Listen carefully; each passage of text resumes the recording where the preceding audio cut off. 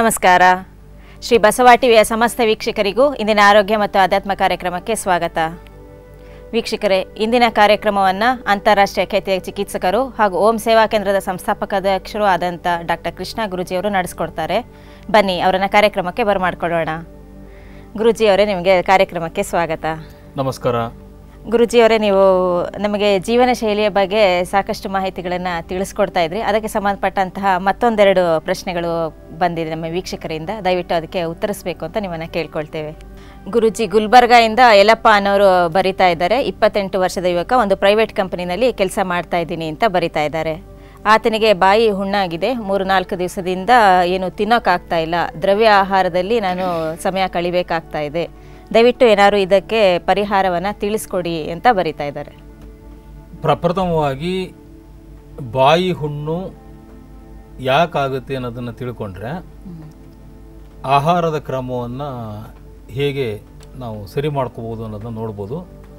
ಆ ಪತ್ರವನ್ನು ನಾನು ಸಹ ಓದಿದ್ದೆ, ಆತನಿಗೆ ತಿನ್ನೋಕ್ಕಾಗ್ತಾ ಇಲ್ಲ, ನಾಲ್ಗೆ ಉರಿ ಬರ್ತಾ ಇದೆ ತುಟಿ ಹೊಡಿತಾ ಇದೆ ಇತ್ಯಾದಿ ಬರೆದ್ರು. ದೇಹ ತನ್ನದೇ ಆದಂತಹ ಒಂದು ಚಟುವಟಿಕೆಯನ್ನು ಹೊಂದಿರುತ್ತೆ.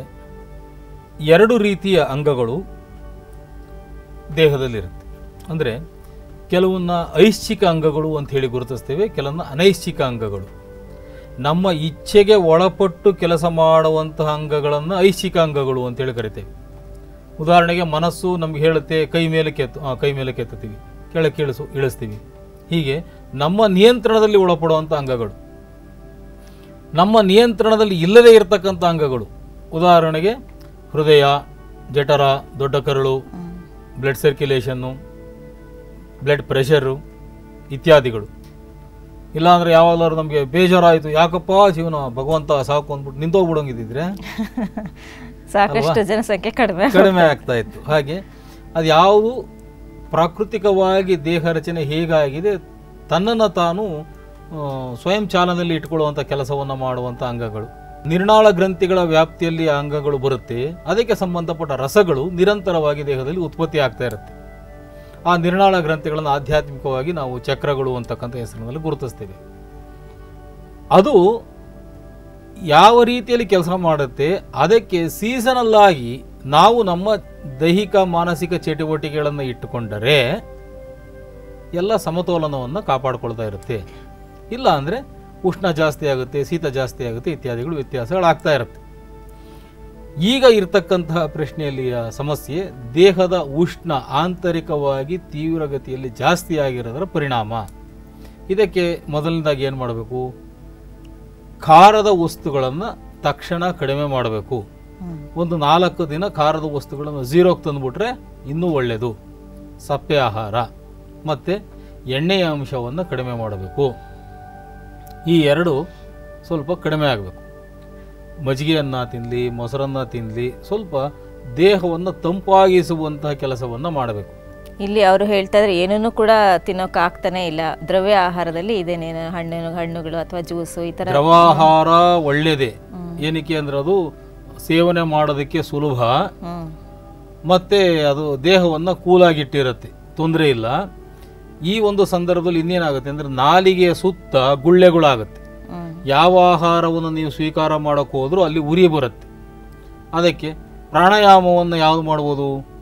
ಶೀತಲಿ ಪ್ರಾಣಾಯಾಮ ಶೀತಕಾರಿ ಪ್ರಾಣಾಯಾಮ ಸದಂತ ಪ್ರಾಣಾಯಾಮ ಚಂದ್ರಾನುಲೋಮ. ಪ್ರಾಣಾಯಾಮ ಚಂದ್ರಭೇದನ ಪ್ರಾಣಾಯಾಮ ಇತ್ಯಾದಿ ದೇಹವನ್ನು ಕೂಲಾಗಿರ್ತಕ್ಕಂತಹ ಪ್ರಾಣಾಯಾಮಗಳನ್ನು ಅಭ್ಯಾಸ ಮಾಡ್ತಾ ಬಂದರೆ ಅದಕ್ಕೆ ಬೇಗ ಪರಿಹಾರವನ್ನು ಕಂಡುಕೋಬಹುದು ಜೊತೆಗೆ ನಾಲಿಗೆಯಲ್ಲಿ ಸುತ್ತ ಇರತಕ್ಕಂಥ ಗುಳ್ಳೆಗಳಲ್ಲಿರುವ ಋಣಾತ್ಮಕತೆ ಆಚೆಗೆ ಹೋಗಬೇಕು ಅಂದರೆ ಗ್ಲಿಸರಿನ್ ಅಥವಾ ಜೇನುತುಪ್ಪ.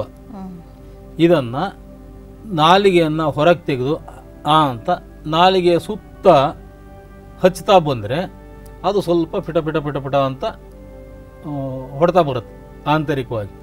ನಾಲಿಗೆಯನ್ನು ಆಚೆಗೆ ತೆಗೆದುಬಿಟ್ಟು ಆ ಅಂತ ತೆಗೆದುಬಿಟ್ಟು ಸಿಂಕ್ ಹತ್ರ ನಿಂತ್ಕೊಂಡ್ಬಿಟ್ಟು ಈ ಥರ ಹಚ್ಕೊಂಡು ನಿಂತ್ಬಿಟ್ರೆ ಒಂದು ಎರಡು ಮೂರು ನಿಮಿಷ ಅಲ್ಲಿರ್ತಕ್ಕಂಥ ಎಲ್ಲ ಋಣಾತ್ಮಕತೆ ಹೊರಗೆ ಬರುತ್ತೆ ದೇಹವನ್ನು ಕೂಲಾಗಿಡುತ್ತೆ. ಒಂದು.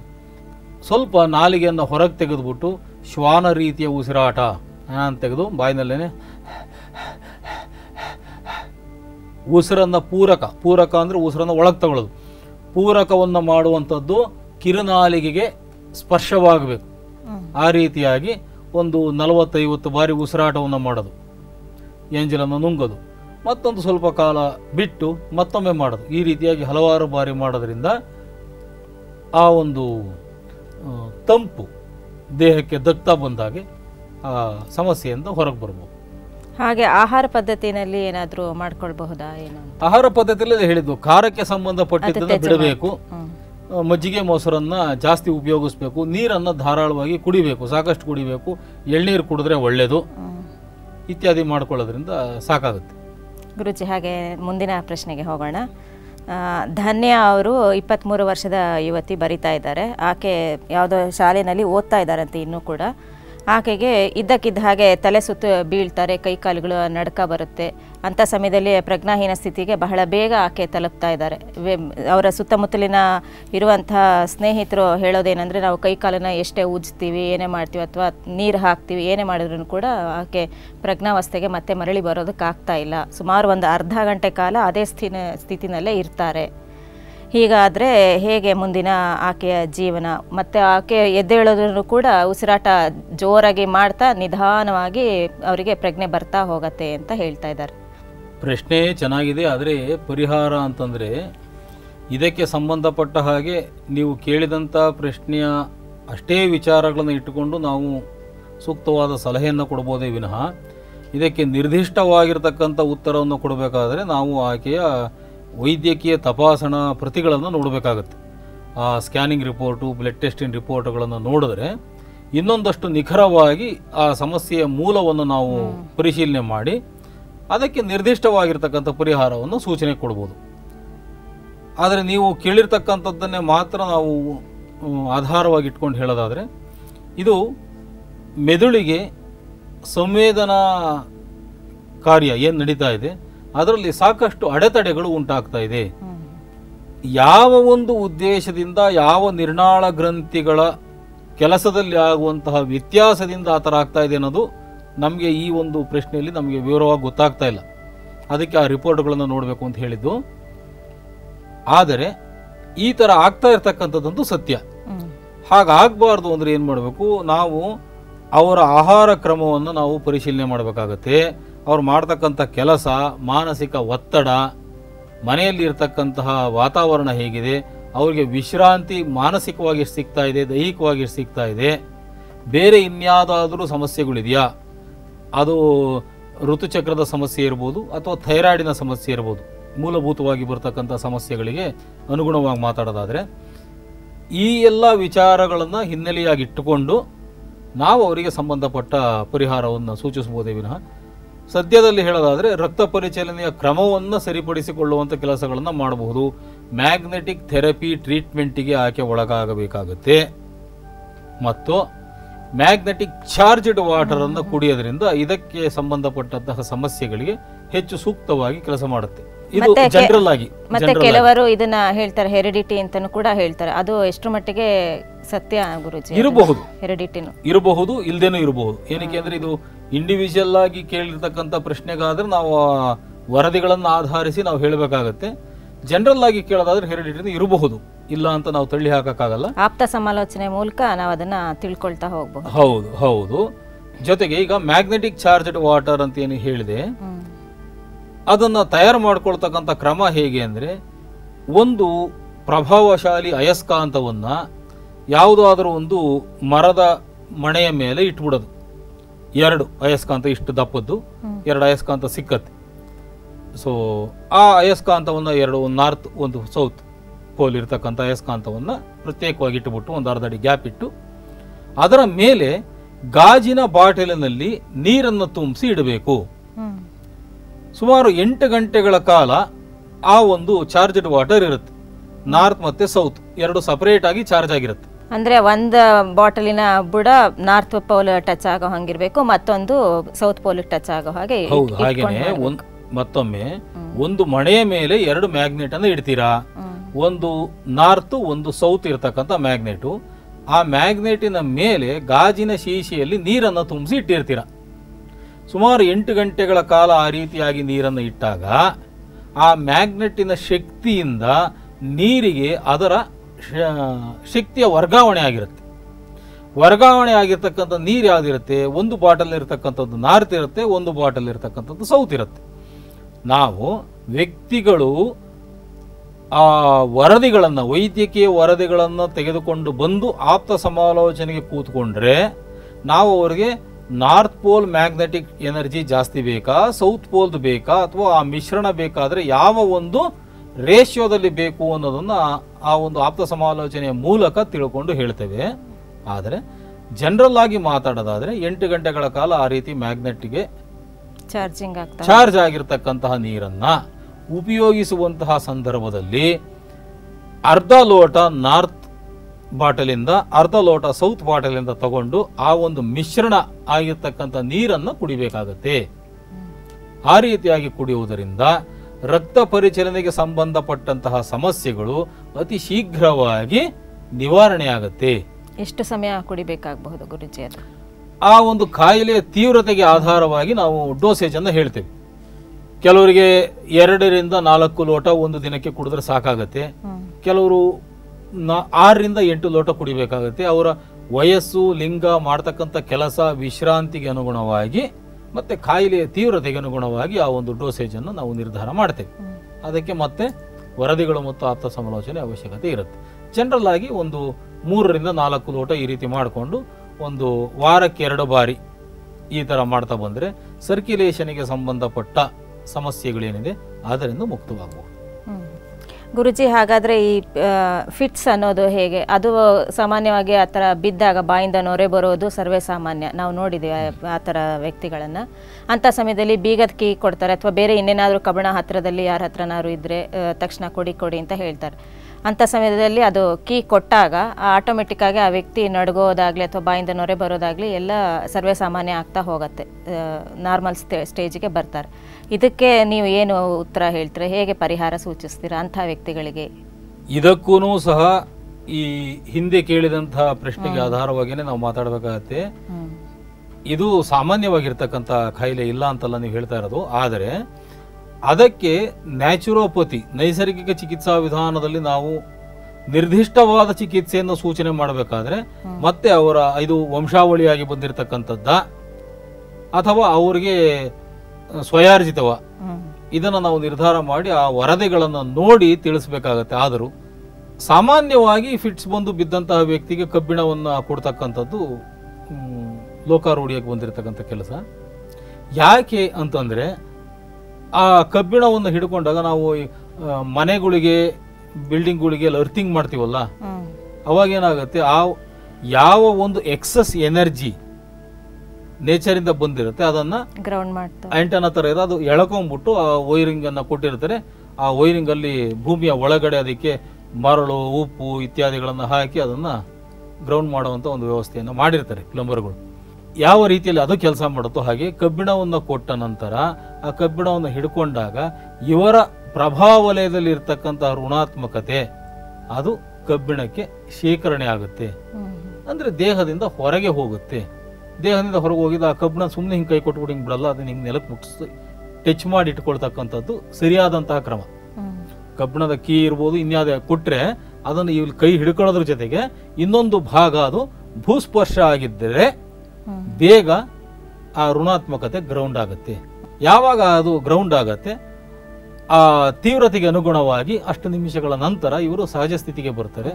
ಆ ಒಂದು ಸಂದರ್ಭದಲ್ಲಿ ಸರ್ಕ್ಯುಲೇಷನ್ ಪ್ರಾಬ್ಲಮ್ ಆಗೋದ್ರಿಂದ ಸಂವೇದನೆ ರುಂಡದಿಂದ ಮುಂಡಕ್ಕೆ ಬರುವಂತಹ ಯಾವ ಒಂದು ಸಿಗ್ನಲ್ಗಳಲ್ಲಿ ಆಗುವಂತಹ ವ್ಯತ್ಯಾಸಗಳಿದೆ ಆ ವ್ಯತ್ಯಾಸಗಳಲ್ಲಿ ಬಾಯಿ ತೊದಲದು ಉಗ್ಗದು ಹಲ್ಲು ಕಡಿಯೋದು ಇಂತಹ ಒಂದು ಕೆಲಸಗಳಾಗುತ್ತೆ.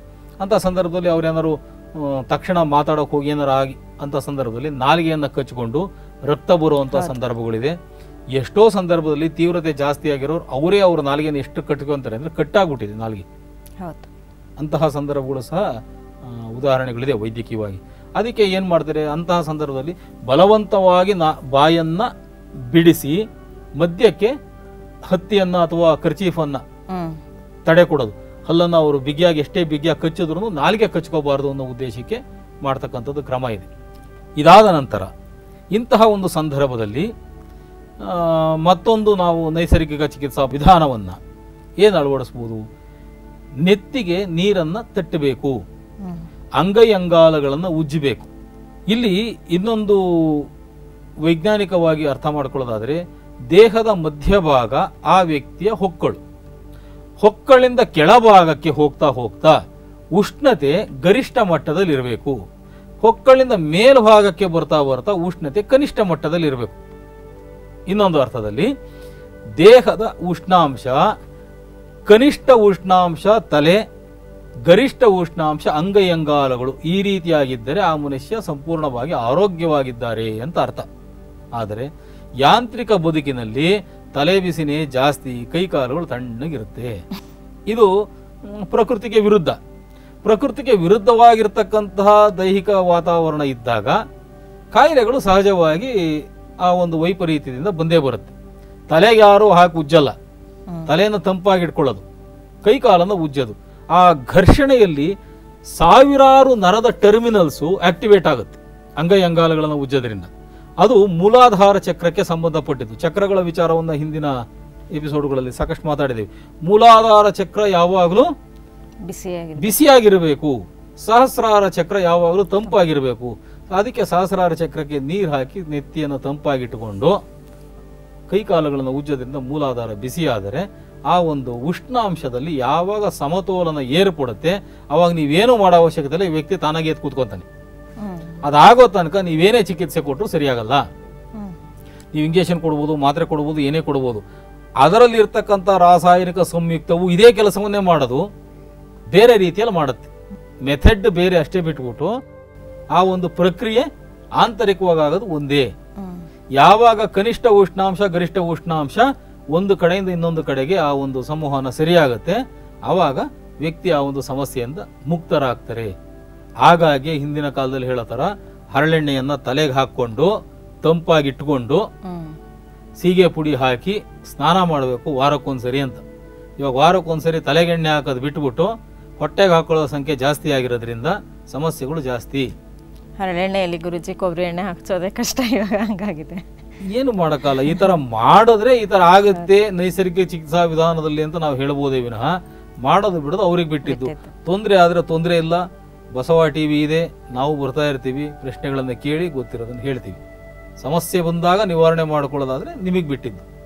ಬರದಂತೆ ಕಾಪಾಡ್ಕೊಳ್ಳೋ ಉದ್ದೇಶಕ್ಕೋಸ್ಕರ ಹೇಳ್ತಾ ಇರೋದು. ಗುರುಜಿ ಈ ವ್ಯಕ್ತಿಗೆ ಈ ಫಿಟ್ಸ್ ಬಂದಂತಹ ವ್ಯಕ್ತಿಗೆ ನೀವು ಹೇಳಿದಾಗ ಆತನಿಗೂ ಕೂಡ ಮ್ಯಾಗ್ನೆಟಿಕ್ ಥೆರಪಿ ಉತ್ತಮ ಅಂತ ಹೇಳ್ತಾ ಇದ್ದೀರಾ? ರಕ್ತದಲ್ಲಿ ಕಬ್ಬಿಣದ ಅಂಶ ಇರುತ್ತೆ. ಕಬ್ಬಿಣದ ಅಂಶದಲ್ಲಿ ಆಗ್ತಕ್ಕಂತಹ ಏರುಪೇರುಗಳು ಮತ್ತೆ ಆ ಒಂದು ನರವ್ಯೂಹದಲ್ಲಿ ಆಗ್ತಕ್ಕಂಥ ಒಂದು ರಕ್ತ ಪರಿಚಲನೆ ಏನಿದೆ ಅಲ್ಲಿ ಆಗುವಂಥ ಅಡೆತಡೆಗಳಿಗೆ ಮ್ಯಾಗ್ನೆಟಿಕ್ ಥೆರಪಿ ಅತ್ಯಂತ ಉತ್ತಮವಾಗಿರ್ತಕ್ಕಂಥ ಚಿಕಿತ್ಸಾ ವಿಧಾನ. ಅದನ್ನ ಹಲವಾರು ರೀತಿಯ ಚಿಕಿತ್ಸಾ ಮ್ಯಾಗ್ನೆಟ್ಗಳು ಇದೆ.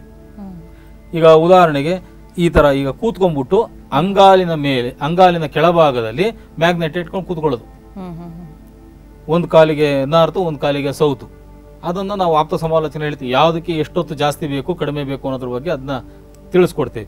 ಈ ಜನರಲ್ ಆಗಿ ಒಂದಕ್ಕೆ ನಾರ್ದು ಒಂದಕ್ಕೆ ಸೌತು ಇಟ್ಕೊಂಡು ಸುಮ್ಮನೆ ಹೀಗೆ ಕೂತಿದ್ದೀರಾ? ಈಗ ಅಂಗೈಯನ್ನು ಸುಮ್ಮನೆ ಇಟ್ಕೊಂಡು ಕೂತ್ಕೊಳ್ಬೋದು ಇದ್ರ ಮೇಲೆ ಅದಕ್ಕಿಂತ ಚಿಕ್ಕದಾಗಿರ್ತಕ್ಕಂಥ ಮ್ಯಾಗ್ನೆಟ್ ಕೈನಲ್ಲಿ ಇಟ್ಕೊಳ್ಳೋದು ಬರುತ್ತೆ. ಅದನ್ನ ಇಟ್ಕೊಳ್ಳಿ. ಆರಾಮಾಗಿ ಕೂತ್ಕೊಳ್ಳಿ. ಈ ರೀತಿಯಾಗಿ ಒಂದು ಹದಿನೈದು ನಿಮಿಷ ನೀವು ದಿನ ಕೂತ್ಕೊಳ್ಳೋದು ಅಭ್ಯಾಸ ಮಾಡಿದ್ರು ಸಾಕು.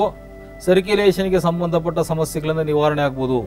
ಬ್ಲಡ್ ಸರ್ಕ್ಯುಲೇಷನ್ ಅಲ್ಲಿ ಆಗುವಂತ ವ್ಯತ್ಯಾಸಗಳು ಸರಿಯಾಗಿ, ಸರಿಯಾದ ಪ್ರಮಾಣದಲ್ಲಿ ರಕ್ತ ಪರಿಚಲನೆ ಆಗ್ತಾ ಇದೆ ಅಂತ ಆದರೆ ಅಂತಹ ವ್ಯಕ್ತಿಗೆ ಯಾವುದೇ ಕಾರಣಕ್ಕೂ ಬಿ ಪಿ ಜಾಸ್ತಿ ಆಗೋದು, ಕಡಿಮೆ ಆಗೋದು ಆಗಲ್ಲ. ಮೂಲಭೂತವಾಗಿರ್ತಕ್ಕಂತಹ ರೋಗ, ಬ್ಲಡ್ ಪ್ರೆಷರ್. ಸೊ ಮ್ಯಾಗ್ನೆಟ್ ಅನ್ನ ಸರಿ ಮಾಡಿಬಿಡುತ್ತೆ ಆ ಸರ್ಕ್ಯುಲೇಷನ್ ಈಗ ಉದಾಹರಣೆಗೆ, ನೀವು ಕೇಳಿದ್ದಕ್ಕೆ ಪೂರಕವಾಗಿ ಮತ್ತಿನ್ಯಾರು ಪ್ರಶ್ನೆ ಕೇಳಿರ್ಬೋದು, ಅದಕ್ಕೂ ಮುಂಚೆನೆ ಹೇಳ್ಬಿಡೋದಾದ್ರೆ, ಈ ಒಂದು ಸೀಸನಲ್ಲಿ ಸ್ವಲ್ಪ ಶೀತ ಜಾಸ್ತಿ ಆಗುತ್ತೆ, ನೆಗಡಿ, ಕೆಮ್ಮು, ಕಫ ಕಟ್ಟೋದು ಇತ್ಯಾದಿ ಜಾಸ್ತಿ ಆಗುತ್ತೆ. ಮೂಗಿಗೆ ಸಂಬಂಧಪಟ್ಟಿದ್ದೆ ಇ ಎನ್ ಟಿ ಮ್ಯಾಗ್ನೆಟ್ ಅಂತ ಬರುತ್ತೆ. ಆ ಎರಡು ಮ್ಯಾಗ್ನೆಟ್ ಅನ್ನು ತಗೊಂಡು ಈ ಕಡೆಗೊಂದು ಈ ಕಡೆಗೊಂದು ಹಿಂಗೆ ಇಟ್ಕೊಂಡ್ರೆ, ನಿಮ್ಗೆ ಹಿಂಗೆ ಅನ್ಸುತ್ತೆ, ಬಟ್ ಅದು ನಿಲ್, ನಿಂತ್ಕೊಳ್ಳುತ್ತೆ ಹಿಂಗೊಂದು ಅಂಟ್ಕೊಂಡು. ಈ ತುದಿನಲ್ಲಿ ಆಕರ್ಷಣೆ ಇರೋದ್ರೆ ಹಿಂಗೆ ಅಂಟ್ಕೊಂಡು ಹಿಂಗೆ ನಿಂತ್ಕೊಳ್ಳುತ್ತೆ. ಸುಮ್ಮನೆ ಒಂದು ಹದಿನೈದು ನಿಮಿಷ ಇಟ್ಕೊಂಬಿಡಿ. ಸಾಯಂಕಾಲ ಸೂರ್ಯಾಸ್ತದ ನಂತರ ನೀವು ಮಲಗೋದಕ್ಕೆ ಒಂದು ಎರಡು ಗಂಟೆಗಳ ಮುಂಚೆ ಒಂದು ಹದಿನೈದು ಇಪ್ಪತ್ತು ನಿಮಿಷ ಈ ತರ ಒಂದು ಇಟ್ಕೊಂಡು ಮಲಗಿದ್ರೆ ಮೂಗಲ್ಲಿ ಬ್ಲಾಕೇಜಸ್ ಇರಲ್ಲ. ಯಾರು ಬೇಕಾದ್ರೂ ಯಾರು ಬೇಕಾದ್ರೂ ಮಾಡ್ಬೋದು ಎಸ್ಪೆಷಲಿ ಗೊರಕೆ ಇರೋರಿಗೆ ಇದನ್ನ ಫಸ್ಟ್ ಮಾಡಿ. ಸರಿ ಸರಿ. ಅವ್ರಿಗೆ ಇಲ್ಲಿ ಮೂಗಲ್ಲಿ ಸರಾಗವಾಗಿ ಉಸಿರು ತಗೊಂಡು ಬಿಡೋದಕ್ಕೆ ಅನುಕೂಲ ಆದ್ರೆ ಅವಾಗ ಗೊರಕೆ ಕಡಿಮೆ ಆಗುತ್ತೆ. ಗೊರಕೆಗೆ ಸಂಬಂಧಪಟ್ಟವರು ಲಕ್ಷಾಂತರ ಜನ ವೀಕ್ಷಕರು ಆ ಒಂದು ಸಮಸ್ಯೆಯಲ್ಲಿ ಬಳಲ್ತಾ ಇರೋರು ಇದ್ದಾರೆ ಅವರು ಅದನ್ನು ಮಾಡಬೇಕು. ನೂರಕ್ಕೆ ನೂರರಷ್ಟು ಗೊರಕೆ ನಿಲ್ಲುತ್ತೆ ಅಂತ ಹೇಳ್ತಾ ಇಲ್ಲ. ಈ ಒಂದು ಮೆಥಡಲ್ಲಿ ಮಾಡೋದ್ರಿಂದ ಕನಿಷ್ಠ ಒಂದು ಸತತವಾಗಿ ವಂಶ ಪಾರಂಪರ್ಯವಾಗಿ ಅವರು ಪಿತ್ರಾರ್ಜಿತ ಆಸ್ತಿ ಅಂತ ಕೊರಕೆ ಹೊಡ್ಕೊಂಡು ಬಂದಿರೋರು ಏಕದಮ್ ನಿಲ್ಲಿಸ್ತಾರೆ ಅಂತಲ್ಲ. ಆದರೆ ಕನಿಷ್ಠ ಇಪ್ಪತ್ತೈದರಿಂದ ಮೂವತ್ತರಷ್ಟು ಗೊರಕೆ ಅಂತೂ ಖಂಡಿತ ಕಡಿಮೆ ಆಗತ್ತೆ. ಅಷ್ಟನ್ನಂತೂ ಕಡಾಖಂಡಿತವಾಗಿ ಹೇಳ್ಬೋದು. ಅಷ್ಟಾದ್ರೂ ಮನೆಯಲ್ಲಿರ್ತಕ್ಕಂಥ ಇದರ ಸದಸ್ಯರಿಗೆ ತುಂಬಾ ಸಂತೋಷವಾಗುವಂಥ ವಿಚಾರ ಆಯ್ತು ಆ ಥರ. ಅದು ಮತ್ತೆ ನೆಗಡಿ, ಕೆಮ್ಮು, ಕಫ ಕಟ್ಟೋದು ಇದರಿಂದ ಮುಕ್ತಿ ಪಡಿಬೋದು. ಎದೆಯ ಮೇಲ್ಭಾಗದಲ್ಲಿ ಒಂದು ಹದಿನೈದು ನಿಮಿಷ ಮ್ಯಾಗ್ನೆಟ್ ಅನ್ನು ಇಟ್ಕೊಂಡು ಮಲಗೋದ್ರಿಂದ ಬೆನ್ನು ನೋವಿಗೆ ಮ್ಯಾಗ್ನೆಟ್ ಇಟ್ಕೋಬಹುದು ದೇಹದ ಯಾವ ಭಾಗದಲ್ಲಿ, ಕೀಲಿಗಳಲ್ಲಿ ನೋವಿದೆಯೋ ಅಂತಹ ಸ್ಥಳಗಳಲ್ಲಿ ಒಂದು ಹದಿನೈದು ನಿಮಿಷ ಮ್ಯಾಗ್ನೆಟ್ ಅನ್ನು ಇಟ್ಟುಕೊಂಡು ಎಳೆತ ಸೆಳೆತವನ್ನ ಆಂತರಿಕವಾಗಿ ಅನುಭವಿಸೋದ್ರ ಮೂಲಕ ಸರ್ಕ್ಯುಲೇಷನ್ ಅನ್ನು ಸರಿ ಮಾಡಿಕೊಂಡು ಧಾರಾಳವಾಗಿ ಅದ್ಭುತ ಜೀವನವನ್ನು ಮಾಡಬಹುದು. ಮುಂದಿನ ಪ್ರಶ್ನೆಗೆ ಹೋಗೋಣ. ಹಾಗೇನೆ. ಈ ಹೊಸದಾದ ಹೊಸದಾಗಿ ಮದುವೆ ಆದಂತಹ ದಂಪತಿಗಳು ಬರಿತಾ ಇದ್ದಾರೆ. ಈ ವರ್ಷ ನಮಗೆ ಒಂದು ಗಂಡು ಶಿಶು ಜನಿಸಿದೆ. ಅದಕ್ಕೆ ಸುಮಾರು ಒಂದು ಎಂಟು ತಿಂಗಳು ಇರಬಹುದು ಅಂತ ಬರಿತಾ ಇದ್ದಾರೆ. ಎಂಟು ತಿಂಗಳ ಮಗುಗೆ ನೀವು ಹೇಳಿದ ಹಾಗೆ ಈಗ ಫಿಟ್ಸ್ ಬರ್ತಾ ಇದೆ ಅಂತೆ. ಫಿಟ್ಸ್ ಬರೋದ್ರಿಂದ ಅದು ಬುದ್ಧಿಮಾಂದ್ಯಕ್ಕೆ ಟರ್ನ್ ಆಗಿದೆ ಅಂತ ಹೇಳ್ತಾ ಇದ್ದಾರೆ. ಅಧಿಕ ಜ್ವರ ಬಂದು ಗೊತ್ತಾಗ್ದೇನೆ ಅದು ಫಿಟ್ಸ್ ಅಂತಾರೆ ಈಗ ದೊಡ್ಡವರು ಹೇಗೆ ಬಿದ್ದು ಹೊರಳಾಡ್ತಾರೆ, ಮಾಡ್ತಾರೆ, ಆ ಥರ ಇಲ್ಲ. ಅದು ದೃಷ್ಟಿ ಒಂದೇ ಕಡೆ ಇರುತ್ತೆ. ಹಾಗಾಗಿ ಅದೂ ಕೂಡ ಫಿಟ್ಸ್ ಅಂತ ಡಾಕ್ಟ್ರುಗಳು ಪರಿಗಣಿಸ್ತಾ ಇದ್ದಾರೆ. ನಮಗದು ಗೊತ್ತಾಗಲಿಲ್ಲ. ಈಗ ಅದು ಬುದ್ಧಿಮಾಂದ್ಯಕ್ಕೆ ತಿರುಗಿದೆ. ಈ ಬುದ್ಧಿಮಾಂದ್ಯವನ್ನು ತಡೆಗಟ್ಟೋದು ಹೇಗೆ? ಅದರಿಂದ ಏನಾದ್ರು ನಿವಾರಣೆ ಇದೆಯಾ? ಯಾಕಾಯಿತು ಹೀಗೆ ಅಂತ ಕೇಳಿ ಬರಿತಾ ಇದ್ದಾರೆ. ಬಹಳ ನೋವಿನಿಂದ ಬರಿತಾ ಇದ್ದಾರೆ ಗುರುಜಿ. ಪ್ರಶ್ನೆಯನ್ನು ಅವ್ರು ಕೇಳ್ತಾ ಇದ್ದಾರೆ. ಈ ಒಂದು ಸಂದರ್ಭದಲ್ಲಿ ವೀಕ್ಷಕರಿಗೆ ನಾವು ಮತ್ತೊಂದು ವಿಚಾರವನ್ನು ತಿಳಿಸಕ್ಕೆ ಏನಕ್ಕೆ ಇಷ್ಟಪಡ್ತೀನಿ ಅಂದರೆ ನಮ್ಮ ಓಂ ಸೇವಾ ಕೇಂದ್ರ ಆಶ್ರಮದ ಒಂದು ಯೋಜನೆಯಾದ ಸನ್ಮತಿ ಅಂತಕ್ಕಂಥ ಯೋಜನೆಯಲ್ಲಿ ಈ ಒಂದು ಬುದ್ಧಿಮಾಂದ್ಯ ಮಕ್ಕಳಿಗಾಗಿಯೇ ಒಂದು ಉಚಿತವಾದ ಶಾಲೆಯನ್ನು ನಾವು ಕಳೆದ ನಾಲ್ಕೈದು ವರ್ಷಗಳಿಂದ ನಡೆಸ್ತಾ ಇದ್ದೇವೆ. ಎಲ್ಲ ರೀತಿಯ ಬುದ್ಧಿಮಾಂದ್ಯ ಮಕ್ಕಳಿಗೂ ಇಲ್ಲಿ ಡೇ ಸ್ಕೂಲನ್ನು ನಾವು ಮಾಡಿದ್ದೇವೆ. ಅವರಿಗೆ ಟ್ರಾನ್ಸ್ಪೋರ್ಟೇಷನ್ನು ಮಧ್ಯಾಹ್ನದ ಊಟ ಥೆರಪಿ ವೈದ್ಯಕೀಯವಾಗಿ ಏನೇನು ಸೌಲಭ್ಯಗಳನ್ನು ಕೊಡ್ಬೋದು. ನಮ್ಮಲ್ಲಿರ್ತಕ್ಕಂಥ ಒಂದು ಐವತ್ತು ಬೇರೆ ಬೇರೆ ಚಿಕಿತ್ಸಾ ವಿಧಾನಗಳ ಮೂಲಕ ಕೊಡ್ತಕ್ಕಂಥ ಚಿಕಿತ್ಸೆ ಎಲ್ಲವನ್ನು ನಾವು ಉಚಿತವಾಗಿ ಒದಗಿಸ್ಕೊಟ್ಟಿದ್ದೇವೆ. ಹಾಗಾಗಿ ಇದರ ಬಗ್ಗೆ ಅವರ ರೀ ಜೊತೆಯಲ್ಲಿ ಕೂತ್ಕೊಂಡು ಆಪ್ತ ಸಮಾಲೋಚನೆ ಮಾಡೋದ್ರಿಂದ ವೈಜ್ಞಾನಿಕವಾಗಿರ್ತಕ್ಕಂಥ ಸಾಕಷ್ಟು ವಿಚಾರಗಳು ಗೊತ್ತಾಗಿದೆ. ಅದನ್ನು ಒಂದೆರಡು ವಿಚಾರ ಶೇರ್ ಮಾಡ್ಕೊಳ್ಳೋದಾದರೆ ಈ ರೀತಿಯಾದಂತಹ ಬುದ್ಧಿಮಾಂದ್ಯತೆ ಪ್ರಪ್ರಥಮವಾಗಿ ಬರತಕ್ಕಂಥದ್ದಕ್ಕೆ ಕೆಲವು ವೈಜ್ಞಾನಿಕ ಹಿನ್ನೆಲೆಗಳಿದೆ. ಒಂದು ಹತ್ತಿರದ ಸಂಬಂಧದಲ್ಲಿ ಮದುವೆ ಆಗ್ತಕ್ಕಂಥದ್ದು. ಅದಕ್ಕೆ ಗೋತ್ರ ಅಂತ ಹೇಳಿ ಹೇಳ್ತೇನೆ. ಇದನ್ನು ಮತ್ತೆ ನಾವು ಹಿಂದಿನ ಎಪಿಸೋಡಿಗೆ ತಗೊಂಡು ಹೋಗ್ಬೋದು. ಆಧ್ಯಾತ್ಮಿಕವಾಗಿ ಅದು ಹೇಗೆ ಪರಂಪರಾಗತವಾಗಿ ಬಂದಿದೆ ಸ್ವಗೋತ್ರದಲ್ಲಿ ಮದುವೆಯನ್ನು ಆಗಬಾರ್ದು. ಆ ಗೋತ್ರದ ಬಗ್ಗೆ ಮಾತಾಡೋದಕ್ಕೇನೆ ಸುಮಾರು ಎರಡು ಕಂತುಗಳ ವಿಚಾರಗಳಿದೆ. ಆ ಪ್ರಶ್ನೆ ಡೈಲ್ಯೂಟ್ ಆಗ್ಬಿಡುತ್ತೆ ಈಗ ಬೇಡ. ಅಂದರೆ ನಮ್ಮದೇ ಆದಂತಹ ಜೀನ್ಗಳು ವರ್ಗಾವಣೆ ಆಗಿರುತ್ತೆ. ನಮ್ಮ ಪೂರ್ವಜರಿಂದ ವರ್ಗಾವಣೆ ಆಗ್ತಾ ಆಗ್ತಾ ಆಗ್ತಾ ಬಂದಿರುತ್ತೆ. ಆ ಹೆಣ್ಣು ಮಕ್ಕಳನ್ನು ಮದುವೆ ಮಾಡಿ ನಾವು ಬೇರೆ ಕಡೆಗೆ ಕೊಟ್ಟಂತಹ ಸಂದರ್ಭದಲ್ಲಿ ಆ ಹೆಣ್ಣಿನಲ್ಲಿ ಉತ್ಪತ್ತಿಯಾಗುವಂಥ ಅಂಡಾಣುವಿಗೆ ಬೇರೆ ಒಂದು ವಂಶಾವಳಿಯಲ್ಲಿ ಬಂದಿರತಕ್ಕಂತಹ ವೀರ್ಯಾಣುಗಳ ಸಂಯೋಗದಿಂದ ಮಗು ಹುಟ್ಟುವುದರಿಂದ ಶೇಕಡ ಐವತ್ತರಷ್ಟು ಮಾತ್ರ ಆ ಕಡೆ ವರ್ಗಾವಣೆ ಆಗಿರುತ್ತೆ. ಆದರೆ ಇದೇ ವಂಶಾವಳಿಯಲ್ಲಿ ಬಂದಂತಹ ಅಂಡಾಣು ವೀರ್ಯಾಣುಗಳೇ ಬಂದರೆ ಲೈಕ್ ಪೋಲ್ಸ್ ರಿಪೆಲ್ ಪ್ರಕೃತಿ ನಿಯಮ ಆ ರೀತಿಯಾಗಿ ಆ ಒಂದು ಆಂತರಿಕ ಸಂಘರ್ಷಗಳು ಆ ಜೀನ್ಗಳಲ್ಲೇ ಇರುತ್ತೆ. ಅದು ಏನಾಗುತ್ತೆ? ಆ ಒಂದು ವ್ಯತ್ಯಾಸಗಳಿಂದ ನಿರ್ನಾಳ ಗ್ರಂಥಿಗಳ ರಚನೆಯಲ್ಲೇ ವ್ಯತ್ಯಾಸಗಳಾಗುತ್ತೆ. ಆ ಒಂದು ವ್ಯತ್ಯಯದಿಂದ ಹುಟ್ಟುವಂತಹ ಮಕ್ಕಳು ಯಾವುದಾದ್ರೂ ಒಂದು ಕಾಯಿಲೆಗಳಿಂದ ಬಳಲ್ತಾರೆ. ಇಲ್ಲ ಕೂದಲು ಉದುರೋಗೋದು ಇಲ್ಲ ದೃಷ್ಟಿ ಮಾಂದ್ಯವಾಗೋದು, ಇಲ್ಲ ಅಂಗವೈಕಲ್ಯತೆ, ಇಲ್ಲ ಒಂದು ಬುದ್ಧಿಮಾಂದ್ಯತೆ ಇತ್ಯಾದಿಯಾಗಿ ಆಗೋದು. ಒಂದು. ಎರಡನೇದು, ಮಕ್ಕಳನ್ನ ಹೆರತಕ್ಕಂಥದ್ದು ಪ್ರಕೃತಿ ಸಹವಾಜವಾದ ಕ್ರಿಯೆಯಾದರೂ ಸಹ ಮಕ್ಕಳನ್ನ ಪಡೆಯುವಂತಹ ದಂಪತಿಗಳು ತಮ್ಮನ್ನ ತಾವು ಸಂಪೂರ್ಣವಾಗಿ ದೈಹಿಕವಾಗಿ ಮಾನಸಿಕವಾಗಿ ತೊಡಗಿಸಿಕೊಂಡು ವಂಶಾಭಿವೃದ್ಧಿಗೋಸ್ಕರವಾಗಿ ಆ ಒಂದು ಪ್ರಾರ್ಥನೆಯನ್ನ ಮಾಡಿಕೊಳ್ಳುತ್ತಾ ಈ ಒಂದು ಪ್ರಕ್ರಿಯೆಯಲ್ಲಿ ತೊಡಗಿಕೊಂಡಾಗ ಆರೋಗ್ಯವಂತ ಮಗುವನ್ನು ಪಡೆಯೋದಕ್ಕೆ ಸಾಧ್ಯವೇ ವಿನಃ ಬಲವಂತವಾಗಿ ಹಿರಿಯರ ಒತ್ತಡದಿಂದ ಇಷ್ಟವಿಲ್ಲದೆ ಮಗುವನ್ನು ಹೇರುವಂತಹ ಸಂದರ್ಭಗಳಲ್ಲಿ ಬೇಕಾಗಿರೋದು ಬೇಡದೇ ಇರತಕ್ಕಂಥ ಮಾತ್ರೆಯನ್ನು ನುಂಗೋದು ಆ ಹೊಟ್ಟೆಯಲ್ಲಿ ಇರತಕ್ಕಂತಹ ಮಗುವಿನ ಬಗ್ಗೆ ತಾತ್ಸಾರವನ್ನು ಮೂಡಿಸ್ಕೊಳ್ಳೋದು ಸರಿಯಾದ ಆಹಾರ ಸೇವನೆಯನ್ನು ಮಾಡದೇ ಇರತಕ್ಕಂಥದ್ದು ವಿಶ್ರಾಂತಿಯನ್ನು ಪಡೆದೇ ಇರೋದು ಏನೋ ಒಂದು ಹೆರಬೇಕು ಹೆರ್ತಾ ಇದ್ದೀನಿ ಅಂತಕ್ಕಂಥ ಒಂದು ವಿಚಾರ. ಅಥವಾ ತಾಯಿಗೆ ಆ ಮಗುವಿನ ಬಗ್ಗೆ ಆಸಕ್ತಿ ಇದ್ದರೂ ತಂದೆಗೆ. ತಂದೆಗೆ ತಂದೆಗೆ ಅತ್ತೆ ಮಾವನಿಗೆ ಆ ಕುಟುಂಬದ ಬೇರೆ ಸದಸ್ಯರಿಗೆ ಅದರ ಬಗ್ಗೆ ಜಿಗುಪ್ಸೆ ಇರೋದು. ಇಂತಹ ಒಂದು ವಾತಾವರಣದಲ್ಲಿ ಯಾಗ ಆ ತಾಯಿಯ ಮಾನಸಿಕ ದೈಹಿಕ ಸ್ಥಿತಿಗಳಲ್ಲಿ ಆಗುವಂತಹ ವ್ಯತ್ಯಾಸಗಳು ಸೇವನೆ ಮಾಡುವಂತಹ ಆಹಾರ ಮಾತ್ರೆಗಳಲ್ಲಿ ಆಗುವಂತಹ ರಾಸಾಯನಿಕ ಪ್ರಕ್ರಿಯೆಗಳು, ಇವೆಲ್ಲ ಒಂದು ಮಗುವಿನ ಮೇಲೆ ಪರಿಣಾಮವನ್ನು ಬೀರಿ ಸಹ ವ್ಯತ್ಯಾಸಗಳಾಗಿ ಮಾನಸಿಕ ಅಸ್ವಸ್ಥ ಮಕ್ಕಳು ಹುಟ್ಟುವಂಥ ಸಾಧ್ಯತೆಗಳಿರುತ್ತೆ. ಅಂತಹ ಸಂದರ್ಭದಲ್ಲಿ ಆದಷ್ಟು ಅದಕ್ಕೆ ಮಗುವನ್ನ ಮೊದಲನೇ ವರ್ಷ ಅತ್ಯಂತ ಸೂಕ್ಷ್ಮವಾಗಿ ಒಂದೊಂದು ವಿಚಾರವನ್ನು ಗಮನಿಸ್ತಾ ಸಾಕ್ತಕ್ಕಂಥದ್ದು. ಅಲ್ಲಿ ಆಗುವಂಥ ವ್ಯತ್ಯಾಸಗಳನ್ನು ತಕ್ಷಣ ಸರಿಪಡಿಸಿಕೊಳ್ಳುವಂಥ ಕ್ರಮ ತುಂಬ ಒಳ್ಳೆಯದು. ತಾತ್ಸಾರ ಮಾಡುವಂಥ ವಿಚಾರಗಳಲ್ಲ. ಇಷ್ಟರ ಮೇಲೂ ಆ ರೀತಿ ಆದರೆ ಅದರಲ್ಲಿ ಬೇರೆ ಬೇರೆ ಸಿ ಪಿ ಅಂತೀವಿ ಆಟಿಸಮ್ ಅಂತೀವಿ ಎಂ ಆರ್ ಅಂತೀವಿ ಈ ಥರ ಹಲವಾರು ಕ್ಯಾಟಗರಿಗಳನ್ನು ನಾವು ಮಾನಸಿಕ ವಿಂಗಡಿಸ್ತೀವಿ. ಸೊ ನಿರ್ದಿಷ್ಟವಾದ ಸಮಸ್ಯೆ ಏನು ಅಂತ ನಾವು ಗೊತ್ತಾಗದಲೆ ಯಾವ ಒಂದು ವಿಚಾರವನ್ನ ಚಿಕಿತ್ಸೆಯನ್ನ ಈ ಒಂದು ಸಂದರ್ಭದಲ್ಲಿ ಮಾಧ್ಯಮದಲ್ಲಿ ನಾವು ತಿಳಿಸಕ್ಕೆ ಅಸಾಧ್ಯ. ಆ ಮಗುವನ್ನ ಒಂದು ಅಪಾಯಿಂಟ್ಮೆಂಟ್ ತಗೊಂಡು ನಮ್ಮ ಆಶ್ರಮಕ್ಕೆ ಕರ್ಕೊಂಬರಕ್ಕೆ ತಿಳಿಸಿ. ವೈದ್ಯಕೀಯ ವರದಿಗಳು ಮತ್ತೆ ತಂದೆ ತಾಯಿ ಮಗುವಿನ ಜೊತೆಯಲ್ಲಿ ಬಂದರೆ ಆಪ್ತ ಸಮಾಲೋಚನೆಯ ಮೂಲಕ ಆ ಮಗುವನ್ನು ಯಾವ ಒಂದು ವರ್ಗೀಕರಣವನ್ನು ಮಾಡಿ ಯಾವ ಒಂದು ಗುಂಪಿಗೆ ಸೇರಿಸಬಹುದು ಅನ್ನೋದು ನೋಡಿ, ಅದರ ಒಂದು ಎಂಡೋಕ್ರೈನ್ ಸಿಸ್ಟಮ್ ಸಂಪೂರ್ಣವಾಗಿ ತಪಾಸಣೆ ಮಾಡಿ, ಆ ನಂತರ ಅದಕ್ಕೆ ಸಂಬಂಧಪಟ್ಟ ಸೂಕ್ತವಾದ ಚಿಕಿತ್ಸೆಯನ್ನು ನಾವು ತಿಳಿಸೋದಕ್ಕೆ ಸಾಧ್ಯವಾಗುತ್ತೆ. ಆದರೆ ತುಂಬ ದುಃಖ ಪಡುವಂಥ ವಿಚಾರ ಏನಿಲ್ಲ, ಆ ಥರ ಸಾಕಷ್ಟು ಸಂಖ್ಯೆಯಲ್ಲಿ ಇದ್ದಾರೆ. ಅದಕ್ಕೆ ಥೆರಪಿಗಳು ಸಾಕಷ್ಟಿದೆ. ಗುಣವಾಗುವಂತಹ ಸಾಧ್ಯತೆಗಳು ಸಹಜವಾಗಿ ಜೀವನವನ್ನು ನಡೆಸುವಂತಹ ಸಾಧ್ಯತೆಗಳು ಹೇರಳವಾಗಿರೋದ್ರಿಂದ ಆ ಒಂದು ಆಶ್ವಾಸನೆ ಇಟ್ಟುಕೊಂಡು ಧೈರ್ಯವಾಗಿ ನೀವು ಆ ಮಗುವನ್ನು ತುಂಬ ಪ್ರೀತಿಯಿಂದ ಸಾಕಿ ಬನ್ನಿ ನಮಗೆ ಏನು ಭಗವಂತ ಕೊಟ್ಟಿದ್ದೇನೆ ಆ ವಿದ್ಯೆಯನ್ನು ತಿಳಿಸ್ಕೊಡ್ತೇವೆ ಮಾಡಿ ಒಳ್ಳೆಯದಾಗಲಿ ಅಂತ ಈ ಸಂದರ್ಭದಲ್ಲಿ ತಿಳಿಸೋಕೆ ಇಷ್ಟಪಡ್ತೇವೆ ಗುರುಜಿ ಇಂದಿನ ಕಂತಿನಲ್ಲಿ ನೀವು ನರದ ಸಮಸ್ಯೆ ಬಗ್ಗೆ ಸಾಕಷ್ಟು ಮಾಹಿತಿಯನ್ನು ನಮ್ಮ ವೀಕ್ಷಕರಿಗೆ ತಿಳಿಸ್ಕೊಟ್ಟಿದ್ದೀರಾ? ಕಾರ್ಯಕ್ರಮಕ್ಕೆ ಬಂದಿದ್ದಕ್ಕೆ ನಿಮಗೆ ಧನ್ಯವಾದಗಳು ಗುರುಜಿ. ನಮಸ್ಕಾರ.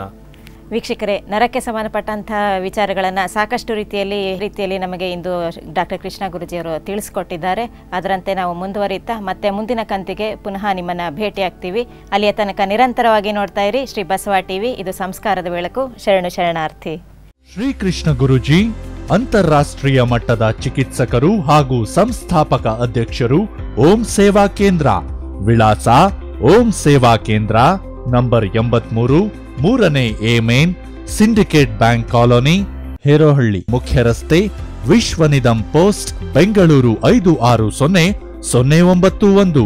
ದೂರವಾಣಿ ಸಂಖ್ಯೆಗಳು ಒಂಬತ್ತು ನಾಲ್ಕು ಎಂಟು, ಮೂರು ಒಂದು ಎಂಟು, ಒಂದು ಒಂದು ಐದು ಐದು ಮತ್ತು ಸೊನ್ನೆ ಎಂಟು ಸೊನ್ನೆ, ಎರಡು ಮೂರು ಎರಡು, ನಾಲ್ಕು ಐದು ಐದು ಐದು ಐದು.